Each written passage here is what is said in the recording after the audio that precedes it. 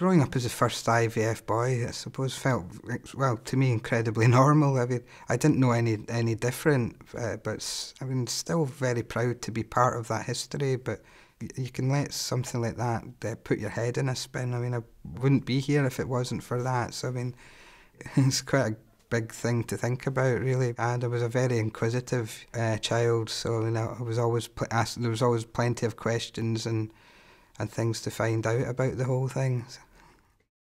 Yeah, well, some of the things my friends would say. I mean, I, I never really got anything bad said to me about friends. It's uh, it was all in good taste and, and fun. But it was uh, like, uh, how did I learn to climb up glass? And was I sponsored by Pyrex? Certainly, the internet wasn't around then, so people couldn't just Google test-tube babies and find out about themselves. So they were all genuinely interesting to see what like what what the IVF process was.